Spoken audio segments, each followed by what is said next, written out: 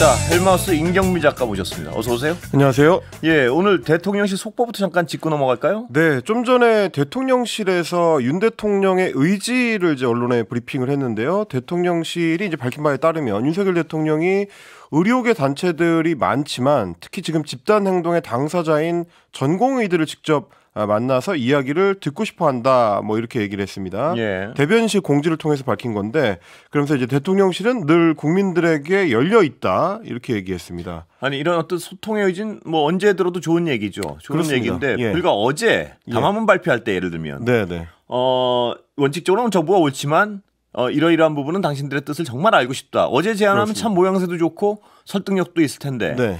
어제 담화문 발표하고 나서 여론이 워낙 안 좋으니까 오늘 갑자기 입장을 좀 바꾸는 듯한 뭐 이런 모습이 좀 아쉽습니다. 뭐 시간 순서대로 보자면 이렇게 좀 구분해 볼 수 있을 것 같습니다. 대통령이 어제 일단 오전에 대통령 특별 담화를 발표를 했는데 말씀하셨다시피 이제 내용이 한 뭐 4분의 3 정도 예. 분량상으로 보면 이제 그 정도 될 것 같은데 대부분의 내용이 2천 명으로 증언을 할 수밖에 없는 이유를 이제 상세하게 설명하는 쪽에 초점이 맞춰져 있고요. 강경 대응에 어떤 초점이 맞춰져 있는 듯이 볼 수밖에 없었죠. 그렇습니다. 예. 저희가 어제도 전해드렸다시피 이제 어, 의사 단체들은 혹은 이제 의사 당사자들을 향해서 이제 지칭했던 게 권익 카르텔 뭐 이런 표현들이 나왔었기 때문에 의사협회를 비롯해서 이제 의사들 입장에서 좀 반발할 수밖에 없는 뭐 그런 이제 어, 어휘들로 구성이 돼 있었고 그러고 나서 대통령실에서 대통령의 담화를 조금 더 이제 누그럽뜨린 해설을 좀 내놨습니다. 그래서 2천 명 정원을 꼭 그 유지하겠다는 게 아니고 어, 뭐 인원 수에 대해서는 다소 좀 열려 있는 태도를 보인 것이다. 네. 이렇게 이제 재해석을 내놨는데 오늘 지금 말씀드린 것처럼 어, 대통령실에서 이제 대통령이 의료계 당사자들 특히 전공의들과 만날 수 있다 어, 이런 의사를 피력한 거는 조금씩 조금씩 이제 의사들 쪽으로 어, 문이 좀 열리고 있는 그런 느낌이 예. 들긴 좀 합니다.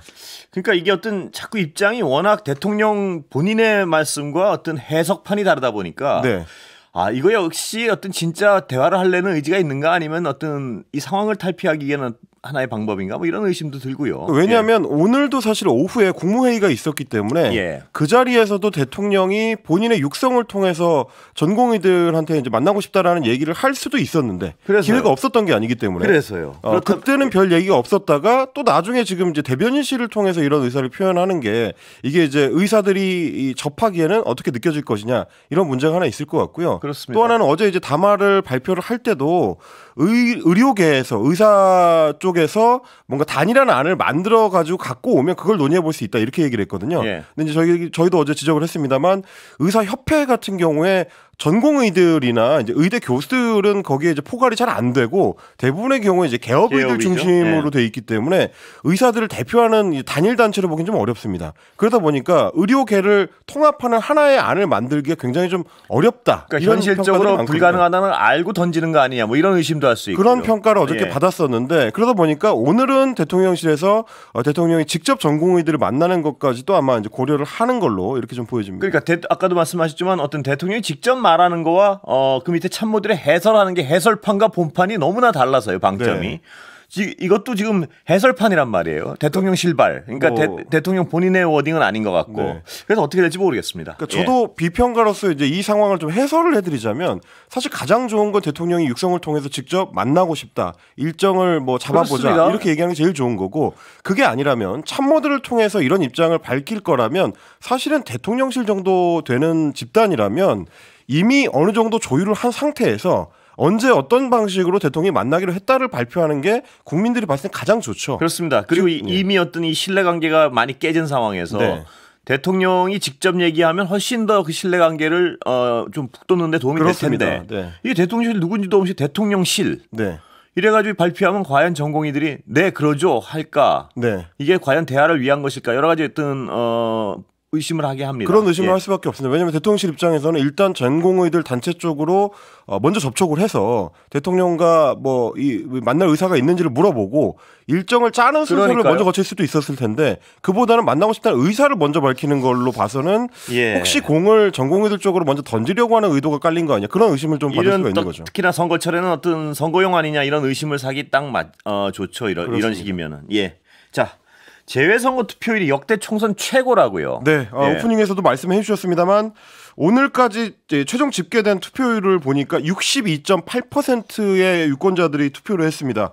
제외 유권자가 지금 이제 14만 7,989명이었는데 예. 그 중에서 9만 2,923명이 투표에 참여를 했으니까요. 상당히 높은 투표 참여 열기고 115개 국가에서 220개 투표소를 설치를 했는데 아시다시피 사실 이제 어, 재외선거 투표 같은 경우는 대부분 영사관이나 이제 대사관에 직접 가야 투표에 참여할 수가 있고 굉장히 힘들죠. 예. 그렇습니다. 성의가 보통 있어야 하는 게 아니거든요. 그렇죠. 예. 뭐 우리 같은 경우는 그러니까 국내에 있는 분들 같은 경우는 신분증만 들고 투표소에 가면 참여할 수 있지만 이분들 같은 경우는 미리 이제 어 이 신고를 해가지고 등록을 해야 되는 그렇습니다. 절차도 있기 예. 때문에 굉장히 불편하고 힘든데 그럼에도 불구하고 이만큼 뜨거운 열기로 이제 투표 참여를 했다.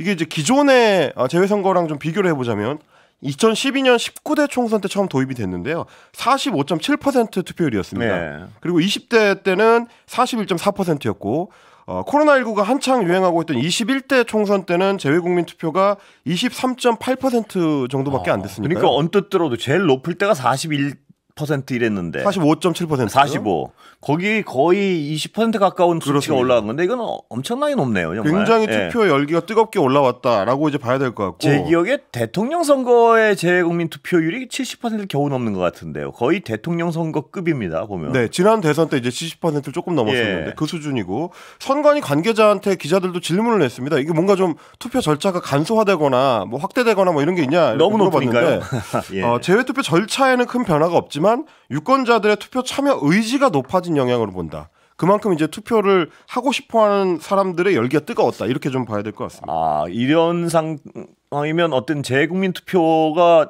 향후 투표율의 바로미터가 될 것이라는 분석도 있지 않습니까? 그렇습니다. 왜냐하면 해외에 살고 있는 분들의 열망이 이렇게 높다는 건 투표에 대한 열망이 네. 뭐 국내랑 다르지 않다는 거 아니겠습니까? 그렇습니다. 더군다나 여기는 아까도 말씀하셨지만 굉장히 투표하기가 번거로운 번거롭죠. 지역이고요. 예. 근데 국내에 살고 있는 분들은 상대적으로 쉬우니까 그렇죠. 이거보다 훨씬 더하는가 더하려는 욕, 욕망이 크지 않을까 뭐 이런 추정이 가능한 거 아니겠습니까? 그래서 이제 이번 주 금요일 토요일에 진행되는 이제 사전 투표도 투표율이 상당히 좀 주목이 되고요. 예. 뭐 아시다시피 사실 재외국민 투표 같은 경우는 젊은 층의 참여가 상당히 높은 편이기 때문에 뭐 그동안은 이제 20대 30대 투표율이 상대적으로 다른 연령대에 비해서는 좀 저조한 편이었는데 이번 선거 같은 경우는 이분들의 투표율이 어느 정도 나올지를 좀 가늠해 볼 수 있는 예. 하나의 사- 척도가 될 것 같습니다. 사전 투표 관련해서 제가 부끄러운 고백 을 하나 드리면 오늘 제 후배한테 야 어떻게 동네가 다른데 용지가 다를 텐데 어떻게 아무 데서나 찍을 수 있냐 이런 질문을 했습니다 부끄럽게도 아십니까? 아, 아, 다른 동네가 있는데요. 아 뭐 사전 투표소에서 바로 인쇄가 예, 가능하니까. 저는 그걸 예. 그걸 몰랐었습니다. 네. 그래서 한심하다는 눈으로 저 쳐다보길래 네. 아 그렇고 아, 인쇄한다는 얘기를 하더라고요. 그러실 수 있을 것 같습니다. 네, 네, 네. 예, 그렇습니다. 하여튼 어느 동네 가서든 제가 이 말씀 제가 부끄러움에도 불구하고 이런 말씀을 드리는 이유는 어느 동네 가서든 찍으면 되니까 네, 그죠? 네. 맞죠? 어느 동네 그렇습니다. 가서든 찍으면 되니까 사전 투표 열심히 하시라는 말씀을 드리기 위해서 제 부끄러움을 고백했습니다. 사전 투표소가 보이면 누구라도 예, 신분증만, 신분증만 지참하면 투표가 가능합니다. 예, 그게 신기했습니다, 저는. 예. 자, 그러면 네. 어, 이 사전 투표율이 이렇게 높고 네. 아, 아니 저 제 국민 투표율이요. 투표율. 예, 이렇게 높고 사전 투표율도 높을 것 같고 굉장히 어떤 향후 바로미터로서 사전 투표율이 얼마나 될지가 개- 대단한 관심사 중에 하나가 되겠습니다. 그렇습니다. 보니까 네, 예, 네. 몇 프로 낼, 거- 될 것인가. 지금 예측들은 어떻게 나오나요? 혹시 뭐 보- 지금 이제 예측치는 뭐 지난 총선을 이제 기준으로 잡는 분들이 예. 많은데 65%를 넘길 수 있느냐 여부가 여야 모두 공히 가장 좀 관심을 받는. 관심거리입니다. 예. 어, 뭐 여, 어, 여야를 막론하고 어, 총선에 이제 그 지휘권을 쥐고 있는 지도부에서는 60%를 넘기면 야당에 다소 유리한 지형이 될 것이다. 그리고 65%를 넘기면 굉장히 유리한 지형이 될 예. 것이다. 이렇게 이제 판단하고 있기 때문에 투표율이 어느 정도 될지를 사전 투표를 통해서 좀 가늠을 해봐야 될 것 같습니다. 궁금하군요. 예. 자, 한동훈 어, 비대위원장 발언이 어제 오늘 계속 화제예요. 왜냐하면 이 발언의 어떤 방향성 때문에 그런데 네. 어떻습니까? 예. 어제 저희가 말씀을 전해드렸습니다만 어제 부산에서 이제 유세 유세 지원을 할때 예. 정부의 실정과 관련해서 어, 당시 한동훈 비대위원장이 그 책임이 저한테 있지는 않지 않느냐. 예. 그러니까 마치 이제 책임을 조금 어, 정부 쪽으로 미는 듯한 예. 예, 그런 발언을 해서 논란이 됐는데 하루 만에 좀 다른 입장을 내놨습니다. 이 두 발언 어제 발언과 오늘 발언을 좀 이제 비교해서 들어보실 수 있도록 준비를 해봤습니다. 예, 들어보시죠. 지금 우리 정부가 여러분의 눈높이에 부족한 것 있을 겁니다. 그렇죠? 제가 100일도 안 됐습니다. 그렇지만 그 책임 저한테 있지는 않지 않습니까? 여러분, 제가 여러분이 부족하다고 말씀하시면 이 97일 동안 어떻게든 제가 큰 상처를 입더라도 바꾸지 않았습니까? 여러분, 잘못이 있고 문제가 있다면 그 책임은 모두 저에게 있습니다. 그냥 저에게만 그런 얘기를 하십시오. 지금 중요한 건 앞뒤 계산하고 나중 생각할 때가 아닙니다. 지금 이 운명의 결전 앞에서 우리 힘을 모으고 선량한 시민들께 희망을 드리는 겁니다. 그러니까 앞에 들으셨던 게 어제 부산에서의 이제 유세할 때 이야기고요. 예. 어, 뒤에 들으신 게 이제 오늘 했었던 발언인데 방향성이 좀 다르군요. 네, 어제는 어, 저한테는 책임이 없지 않느냐라는 이야기를 한 거고 네. 오늘은 그 책임이 모두 저한테 있습니다. 그러니까 예. 뭐 어떻게 보면 완전히 상반된 발언인 셈인데 예. 오늘 했었던 다른 발언에 그 좀 열쇠가 있는 것 같습니다. 네. 건곤 일척의 승부를 앞두고서는 상황이 어떻다 한들 누구를 손가락질하지 말자. 예. 아, 지금은 뭉치면 살고 흩어지면 죽는 때다. 그러니까 지금 이제 당이 혹은 이제 당 정이 서로 반목하면 안 되고 네. 결집해야 된다라는 점을 좀 강조를 한 겁니다. 밤, 밤사이에 왜 이렇게 색깔이 바뀌었을까요?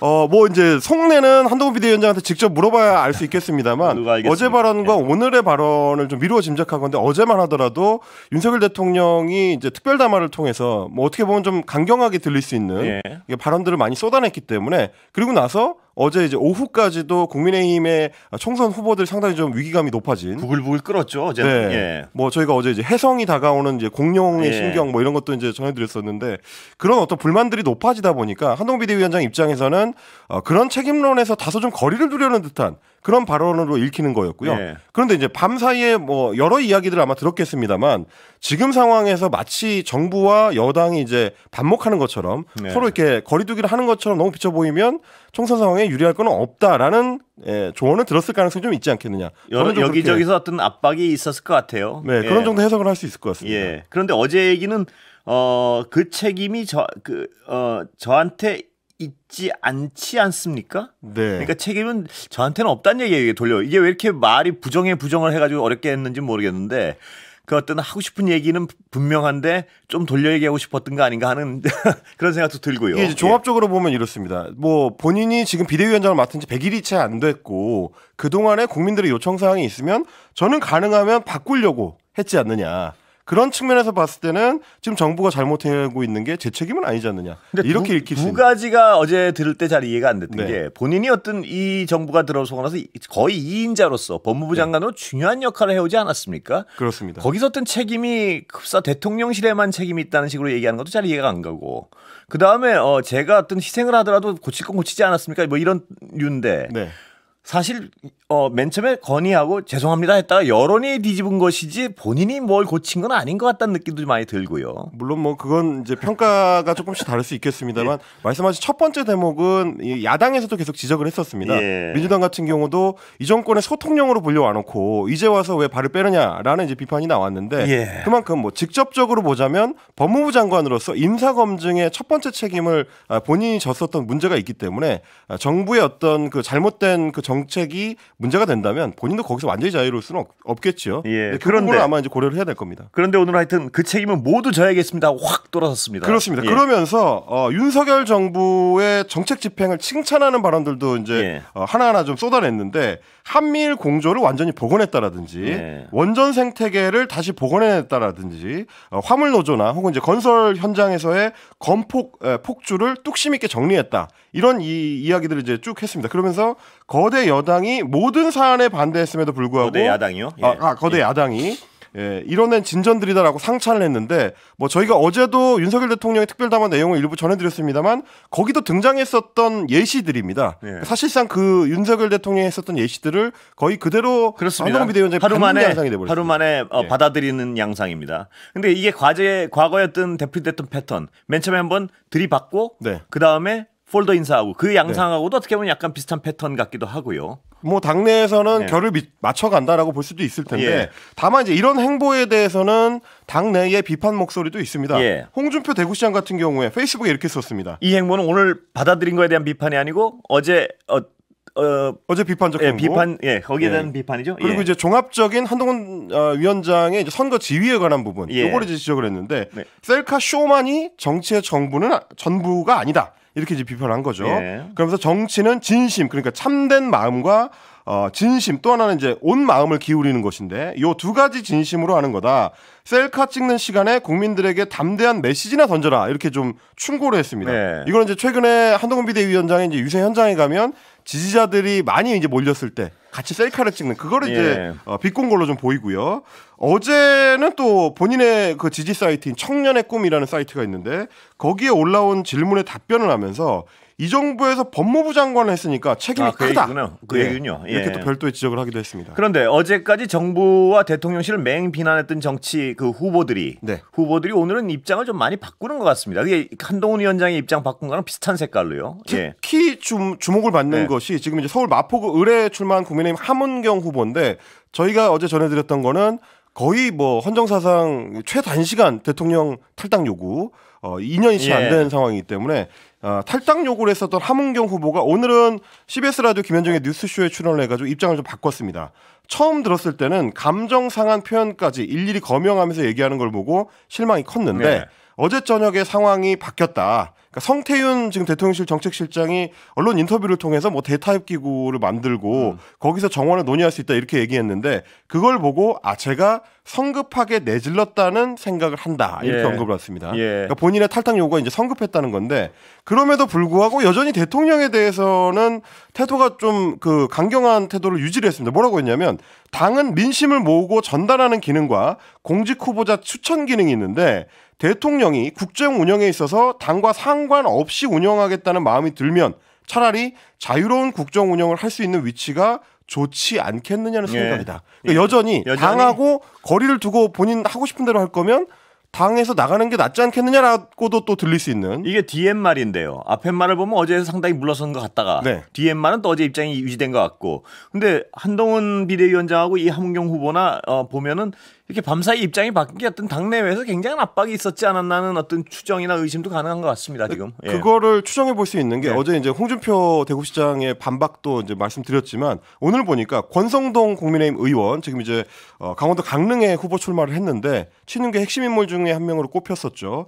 오늘 페이스북에 뭐라고 썼냐면 현재 당내에서 대통령 탈당, 내각 사퇴와 같은 극언이 나오고 있다. 강력하게 경고한다. 자중하라라고 이야기를 했습니다. 예. 그러니까 이제 뭐 친윤계의 후보나 혹은 정치인들을 중심으로 해서 어제부터 계속 이런 어떤 그 다른 목소리를 내는 후보들을 향해서 맹공이 지금 가해지고 있는 상황이기 때문에 아마 말씀하신 것처럼 한동훈 비대위원장이나 하문경 후보한테도 여러 경로를 통해서 이제 이야기들이 좀 들어가지 않았을까 뭐 그렇게 추정은 가능할 것 같습니다. 여당의 선거 전략도 읍소에서 어떤 뭐 책임 문제에 대한 논란, 뭐 다시 대통령실을 옹호한 입장 이래가지고 어떤 굉장히 혼선이 있는 것 같습니다. 지금 보니까. 좀 복잡하게 전개가 예. 되고 있는 것 같고요. 오늘 대통령 같은 경우도 조금 전에는 저희가 예. 전공의들과 대화를 하고 싶다는 의견을 이야기를 했지만 오늘 국무회의에서 한 발언을 보면 일부 의사들의 집단 행동으로 어려움을 겪는 상황이지만 국민을 위한 의료 개혁을 반드시 이루어낼 것이다라고 다시 한번 또 강조하는 그런 모습이었습니다. 그러니까요.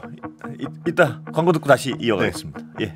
자 마지막에 그 대통령의 국무회의 발언과 오늘 나온 속보와 또 어떤 결이 다르고, 그러니까 네. 지금 정부 여당의 상황은 메시지가 굉장히 혼선이 있다 이렇게 느낄 부분이 많습니다. 보면 서- 그렇습니다. 후보들도 그렇고요. 예. 한동훈 비대위원장도 이제 아침에 했던 얘기와 오후에 했던 얘기가 결이 좀 다른 경우들이 있 어서 그게 좀 기자들 사이에서도 좀 혼란스럽다 이런 얘기들이 나오고 말씀드린 대로 이제 대통령의 오늘 국무회의 발언 같은 경우는 어제의 대국민 담화의 기조에서 크게 다르지 않았었거든요. 예. 어, 뭐 의사들의 집단 행동 때문에 어려움을 겪는 상황이다라고 이제 표현한다든지 어, 이런 얘기도 있었습니다. 국민에게 검토한다는 말은 사실상 안 한다는 말과 같은 뜻이다. 그러니까 이걸 어제 맥락에서 이어가면 어, 2천 명 하겠다고 검토한 게 아니고 2천 명 하겠다 이 얘기 그렇습니다. 아닙니까? 예. 시행하겠다라는 의지를 보인 걸로 읽히기 때문에 그래서 오늘 이제 저녁에는 또 어, 전공의들과 만나겠다는 의사를 표현했기 때문에 내일은 또 어떤 상황이 좀 전개될지 지켜봐야 될 것 같습니다. 근데 이렇게 선거 앞두고 어떤 메시지가 계속 혼돈된 메시지가 발생한다는 건 균열이 있다는 뜻인데 그 내부에서도 예.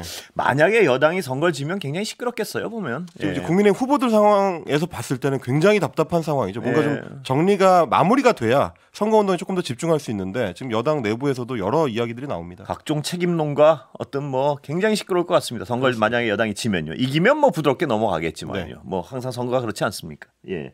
문재인 대통령은 꽤 선거 운동에 이제 본격적으로 뛰어들었다는 느낌도 좀 드는데요. 뭐 이전에 우리가 이제 전직 대통령들한테서 잘 볼 수 없었던 장면이 아닌가 싶은데 네. 어, 이번 총선 PK 지역에서 민주당 후보들에 대해서 적극적으로 지원하는 모습입니다. 오늘 오전에는 울산 동구를 갔는데 민주당 후보가 이제 김태선 전 청와대 행정관이거든요. 본인이 또 어, 청와대에서 같이 일했었던 동료다 이렇게 소개를 하기도 했는데 기자들이 왜 울산을 방문했느냐라고 질문을 했더니 이번 총선은 대한민국의 운명을 좌우하는 너무나 중요한 선거다 이렇게 얘기를 했고요. 예. 어 그리고 이제 특별한 연구가 있는 지역이나 후보를 찾아서 조용히 응원을 보내고 있다라고 표현을 했습니다만 어, 조용히 응원하는 것 치고는 꽤 언론 노출이 많은 편입니다. 적극적이죠? 예. 이건 적극적이란 표현이 어, 과하진 않은 것 같은데요. 어제도 왜냐면 부산 사상구를 방문 했는데 본인이 예전에 국회의원 시절에 또 어, 이 지역의 지역구 국회의원을 지내기도 했었습니다. 여기에 이제 배재정 민주당 후보가 뛰고 있는데 사상구에 있는 낙동강 벚꽃길을 찾아가지고 어, 이때 이제 복장도 파란색 상의에 청바지 차림이니까 어, 선거운동을 돕겠다는 의지가 이제 복장에서도 상당히 예. 보이죠. 거기다 발언도 또 뭐 70년 70평생에 뭐 이런 발, 발언이 말씀이 있지 않았습니까? 그렇습니다. 뭐죠? 70평생에 이렇게 못하는 정부는 처음 본다. 문재인 전 네. 대통령의 캐릭터를 봤을 때 굉장히 강한 발언인데요. 이 정도면. 이렇게 또 예. 직접적인 표현을 잘 사용을 예. 안 하는 분이다 보니까 예. 어, 민주당과 야당들이 좋은 성적을 거둬서 이 정부가 정신 차리도록 해줘야 된다. 이것도 굉장히 좀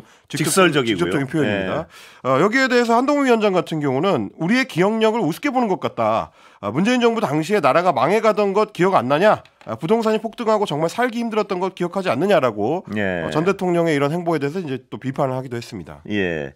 그 어, 어떤 전체적 메시지에서 약간 밀리는 상황에서 여당은 지금 어, 야당의 어떤 후보 후보를 각계격파하려는 노력을 하고 있는 것 같습니다. 보니까. 그렇습니다. 예. 뭐 어제까지는 저희가 이제 양문석 예. 후보에 대해서 말씀을 드렸는데 오늘은 그 김준혁 후보 경기 예. 수원 정에 출마한 민주당 후보입니다.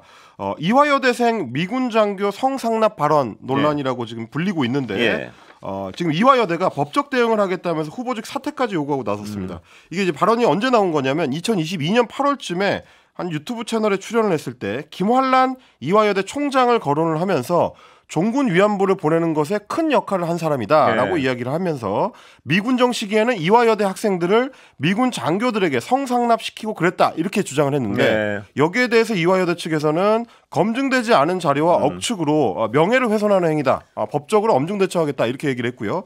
반면에 김준혁 후보 측에서는 예. 앞뒤를 다 자르고 자극적인 편집으로 전체를 매도하지 말아라라고 이야기를 하면서 예. 당시에 펼쳤던 주장은 친일 인사, 그러니까 김한란 어, 전 총장을 얘기하는 겁니다. 친일 인사의 문제적 행적들, 특히 여성 인권을 유린하고 성착취를 강요한 아픈 역사를 제대로 알리자는 취지였다라고 이제 해명을 하면서 어, 발언의 근거가 됐던 논문을 별도로 또 공개를 네. 했습니다. 한국 전쟁과 여성성의 동원이라는 논문인데 여기에 이제 김한란이나 모윤숙 같은 네. 그 당시에 그 어, 여성들이 미군 장교나 외교관들에게 유흥을 하기 위해서 어, 여성들을 동원했다 이런 내용들이 좀 담겨 있다는 해명을 예. 내놨습니다. 시간은 다 됐습니다. 오늘 여기까지 듣겠습니다. 지금까지 헬마 임경빈 작가였습니다. 고맙습니다. 고맙습니다.